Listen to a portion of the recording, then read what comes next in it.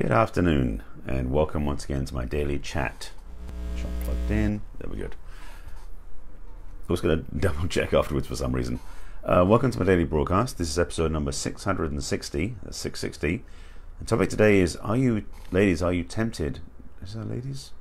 I did say, Are you tempted by snake oil selling coaches? I'll break that down in a moment. Before I do, let me introduce myself so you know who I am, and then we'll just get into the topic, shall we? My name is Barry Selby.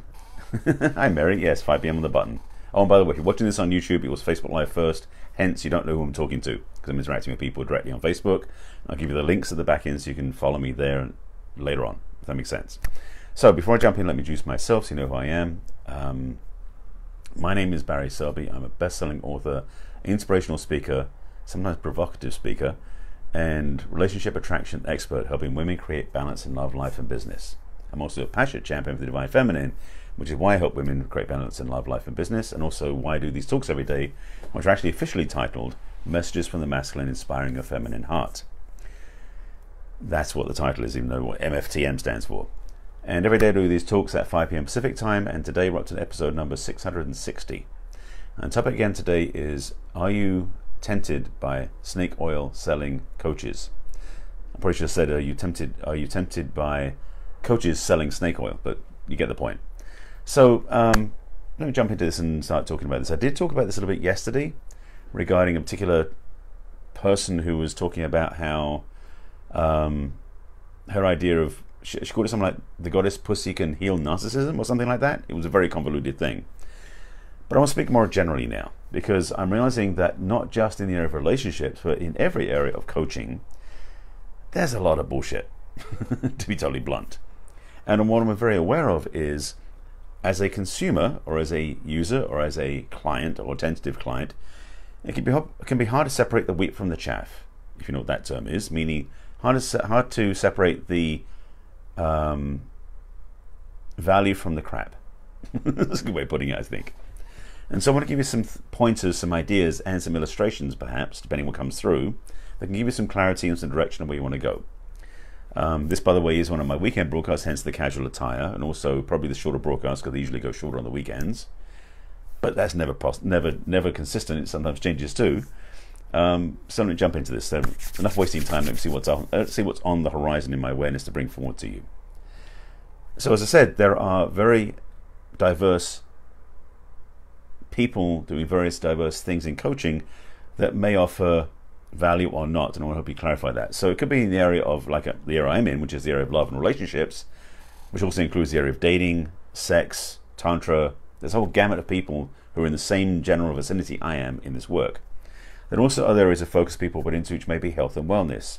Maybe it's a diet program, or it's an exercise system, or it's a new nutritional product. There are also people involved in the financial arena, how to create more money, invest more money, make more money, save your money, that sort of stuff. There's also career coaches, people who help you get invested in your new business. There's a range, as you can tell. So one thing that's common to all of them, at least I like to think so, is that anybody who is hanging out their shingle of what they do in the world and what they're about has ideally a journey that got them there. They didn't just go one day and go, you know what I'm going to do?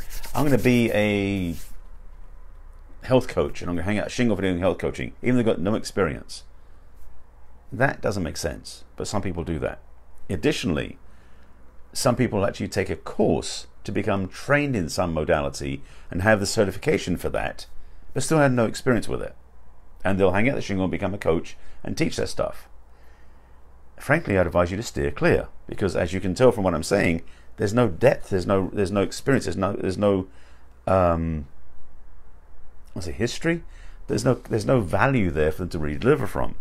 See, the thing for me is that those people I work with as coaches, when I'm a client, are people who have walked a path I can verify, and also have life experience that I can refer to and trust and go, I believe these people.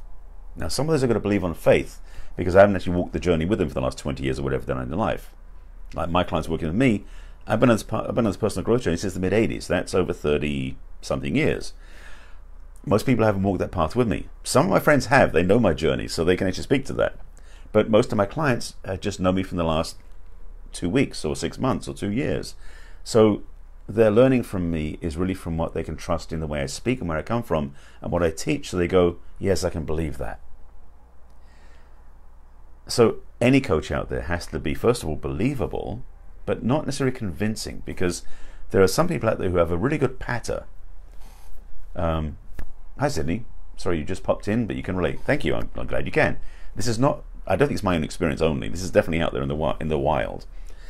And I've, I've looked at working with some coaches who I've since found out, thankfully without investing money, that they were charlatans. They were fakes. They were snake oil salesmen. That's the thing I was getting to the term about snake oil. They were selling something that I didn't believe in. I've even looked at some network marketing products, MLMs, if you know the term, uh, multi-level marketing products. They were supposed to be the next best thing. It's, it's going to be the thing's going to change the world. It's the best thing ever, and it was real snake oil. It didn't have any value. It was, in fact, there are two companies I was working with going back in the day that have class action lawsuits against them because their products were crap and their market model was bad as well. Moving back to coaching, because the same thing applies to coaching as applies to some of these products, is that sometimes the marketing hype is way more impressive than the delivery of what they bring. And I shared this yesterday. It's like, and I'm going to say it again today because I can be totally proud of this. My website sucks. my website is extremely clunky at the moment. I'm, about, I'm looking at revamp, revamping and redesigning it because it does look very uh, old fashioned because it is old fashioned. But all the products on it and all the things on it are very real. But the thing is, as a presentation, it can look pretty weak, just to be transparent. I'm just being honest about that because I've actually had people go to my website and then shy away because they didn't think it looked that good. But the thing is, my work is not about web design. My work is about what I present and what I teach and what I bring. Not that I'm using it as an excuse. I know I need to invest in some web design upgrades. That's going to happen. But the reality is for me is that in my coaching, it really is about what we experience together and we work together. So if you watch my videos, or if you read my book, or if you use any of my programs, or if you coach with me, you'll my thank you, Mary. My per, my personableness, personableness. Sure, I think I know I know what you mean, but I don't know if that's a real word. Is it's very important to you. Thank you for that. I appreciate that, Mary. So rewind slightly. So even though my website may look clunky, everything that's on it has impact and value. And if you watch my videos on YouTube or on Facebook, or if we've met in person, I kind of think you get who I am because that's really the truth of my work. And so for me, this experience, thank you, Mary. I appreciate my videos are excellent. I appreciate that. But for me, it's very clear that a lot of people have a lot have a barrage. That's a pretty good way of putting it. A barrage of marketing. Okay, that just dropped in. Let me talk about this for a second, just sidelines somewhat. As I said, I'm in the area of relationships and, rom- and dating and love. There are many people in this arena, and I've been invited onto many summits where a summit, in case you're not sure, is a gathering of experts that are interviewed either on phone or, or video, mostly video nowadays, to be presented in a sort of 10 day or two week span. Some of those summits I turned down. Some of the summits turned me down, just to be honest, too, because my list, because a lot of these summits are designed to build your email list and my list is still pretty small, so it's not big enough to fit on those summits, which is fair enough. But some of the people who I was being invited to be on the summit, I so got clear how they didn't have any value. And I'm being real about this. There's some people out there who market summits and bring all these experts in, but they themselves are not an expert. They're doing it to build their email list. And this is, by the way, this is just stripping down the um, the curtain. You're seeing behind the curtain now, just how some of these some of these summits work. The person leading the summit has no expertise or very little. But they want to build the email list to be able to sell their products, which is one reason why I've been very reticent to lead a summit because that feels inauthentic. Although, to be honest, a lot of the work I do, mm-hmm. I gotta say this. Okay. I've been looking at putting. I've actually looked at putting summit together the last couple of years. I haven't done one yet. Partly because it's a lot of work, and two because I didn't feel it was a real value. However, just to re- be reflecting what I just said earlier, but other people doing summits, I know that what I bring to the table outshines many of the experts that I would bring onto my summit. And my expertise, even though, and this is the thing, and I'll get to that in a second, okay? And I'm also clear that my work is more important than my list size. Because what I'm aware of is some of these summits, and in fact, it's funny, interesting, because a couple of summits actually have me back again and again because they value what I talk about, independent of my email list size. And that's very humbling and also appreciated because I know the value of work I bring. And because my list isn't 5,000, 10,000 people, it doesn't have any impact about who I am and what my work is about. See, there are people out there who have email lists of 5, 10, 15,000 who always get invited onto the summits. But the reality is, what they bring besides that little half an hour chat is empty. It's void. It's all show. It's all um, sleight of hand. It's a presentation, but it's not real. And so that part of this whole coaching arena is a bit of a challenge for me as well. I'm saying it person, as a personal experience. It's a challenge because I can't invest in things either with coaches working I work with or with summits I want to be on if I don't see authentic, real expertise on the other end. And I would hope to I would hope to say that you would have the same experience. And I'm saying this as an encouragement that don't be willing don't just say yes to the first coach you meet unless they really are the real deal. There are too many and this is the thing I'm discovering more and more. I say all these summits I've been invited to, and these people I've been noticing who are now relationship coaches. It's kind of crazy making to be transparent. That all these people say they can teach about this stuff, yet their only expertise is they're in a good relationship that may have been two years old. Now, I've been single for for mm, 11 years, 12 years now, and I'm being transparent about that. Thank you, Mary. Appreciate it. So, thank you for the information. Appreciate your research, and this is very helpful. I'm, I'm grateful that you found value in this. And it's something that, yes, thank you for that. Sorry, I'm, I'm trying to do two thoughts competing with each other in my head there. This happens to me, by the way. Being being a man, it's hard to juggle two things at once. As men, we're very good at linear. That's the whole masculine thing. I've talked about that before. The masculine and feminine. Masculine's laser focused. Feminine's more of a wide, wide diffuse, can include many things. So I was juggling two thoughts. So one was responding to Mary, which I did. Second thought, which I was losing track of, it'll come back. is ah, it'll come back. I'm sure it will. This is the fun part of doing this. These these any script. There's no planning ahead, so what comes through comes through. Let me see if I can get it another angle. All right, let me just speak. I derailed myself in that one. That was fun. This paradigm. Oh yes, there we go. All these different relationship coaches are out there who have got no experience or almost minimal experience they may have an email list because they have held a summit and gotten emails from other. Because what, let me back up a second. So you know how a summit works mechanically. This is a whole outing about summits. A person hosts an, a web video topical summit about the area they're supposed to be becoming an expert in or want to be building lists from. They bring in 10, 20, 30 people who are experts. Each of them must have a minimum list size of 5,000 people according to the requirements now. So I'll come back. To, all right, I'm going to hold on to that thought. I'm going to come back. Hi, Mary. Keep putting comments in. I'm trying to keep on my point. So you're, you're glad that I am a man and you, and that you need my input. Thank you. You see from woman's point of view and, and appreciate this, this, sincerely. You're very welcome. Thank you for that feedback. And you know I, I have lots of offerings and stuff that I do offer. So thank you for that. And we can talk later as well. Summit creation. I remembered. Good. Okay. So so a summit host will have interviewed again 10, 20, 30 people who must have a list size of minimum 5,000 people. Two things about that. One is their ideal thing is they're going to recruit many people from all those lists onto their own email list. This to be transparent, which is really what it's about. Yes, you may get value from the summit, and everybody offers free gifts, so that when you get the free gift, you get on their email list.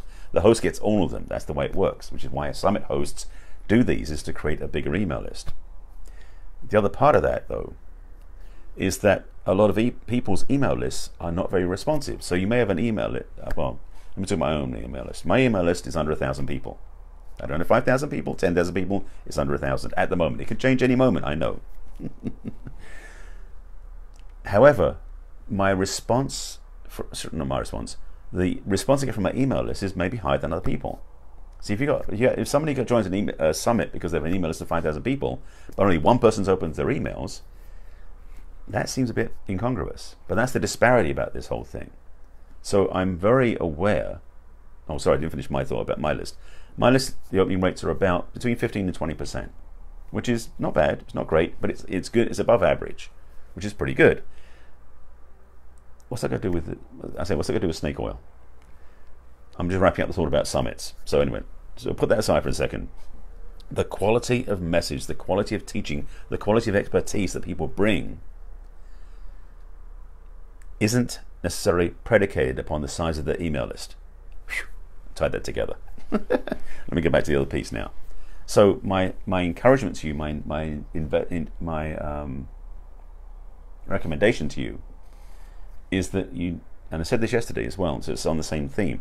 Is what you, you absolutely must do your due diligence, meaning you must do your research. You must, if you want to work with somebody, check them out, find out how they work, find out how they, you know, look at the testimonials and trust, uh, test, trust their testimonials are real, not made up, because this happened before. I've seen that happen. Verify their experience. How long have they been doing this? What are they really about? Interview them. As I said before yesterday, if they don't offer you a free discovery session before you work with them, walk away. If their entry point is a $1,000, $5,000 program, walk away. Because you must get to know the person before you must spend any money, or time, or energy, or commitment. Because if you're paying up front without any knowledge, buyer beware. You want to be very clear about what you're investing in. That's a repeat from yesterday, so let me see if there's any fresh for today. The challenge is just as you could go into a store and be convinced by something somebody told you in the sales department that what they're offering is the best thing ever, then when you get it home, it's crap. You want to make sure that when you're working with a coach, the same thing applies. Um, buyer beware, meaning buyer be careful. Do your research, check things out, learn about the person you want to work with, and see if they really can stand behind what they do. Because they don't stand behind what they're teaching, and they don't have deliverables, and they can't prove that they're that good, you don't want to waste your money. So, in my case, just to toot my own horn for a second, I have 600 and now 60 videos on YouTube and on Facebook Live, and I'll give you the links in a minute, where you can check out what I talk about to know if I'm speaking the truth, and you can verify my message that way. You can also buy my book and read that if you want to find out more about my work for a much lower low, lower um, entry fee. So a lot of things that you can do in my world before you spend any money at all.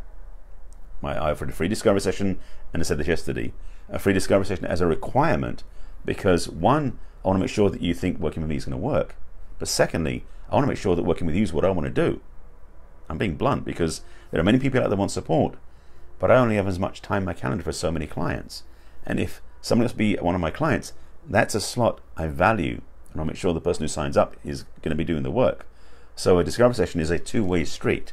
It ain't just for you to find out about me, it's for me to find out about you, just to be totally transparent. I think I made my point. Do your research, be a wise buyer, invest where you find someone you can trust, and really learn about yourself in the process because you'll then realize who's going to be a good coach for me. That's the other part, by the way. When you're looking at all these offers and all these invitations out there, be really clear if that really fits you or not, because you might find that what out there sounds impressive, sounds very tantalizing, and you go, wow, great idea. It's snake oil. Be clear that what you're actually looking at will fit your life, fit your go your goals, and will help you get where you want to go. Whether it's business, life coaching, health, relationships, any area.